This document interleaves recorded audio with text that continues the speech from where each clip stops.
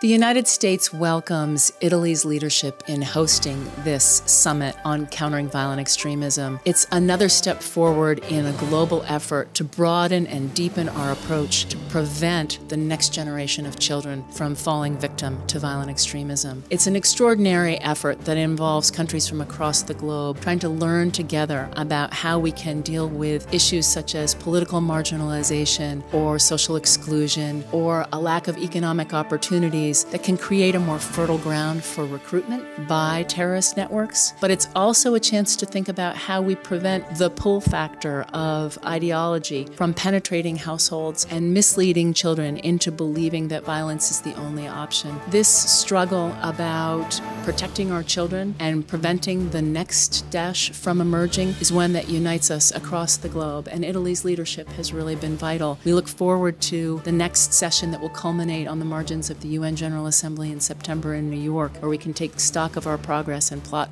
the way ahead to continue this important work.